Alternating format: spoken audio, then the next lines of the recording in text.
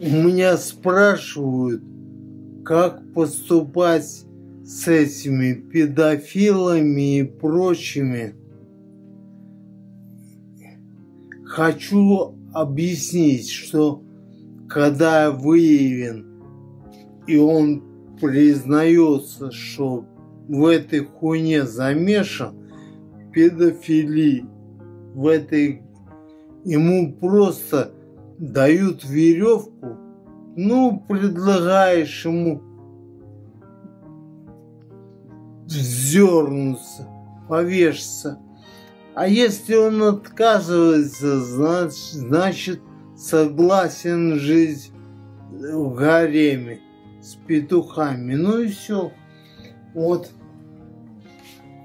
ты вроде никого не гонишь, а ставишь перед выбором. Или-или. Вот можешь покончить с собой, ну, не надо будет тебе унижаться. Ну, таких не прощают. Поэтому дал веревку, не повесился, значит, в гарем по петушиным делам.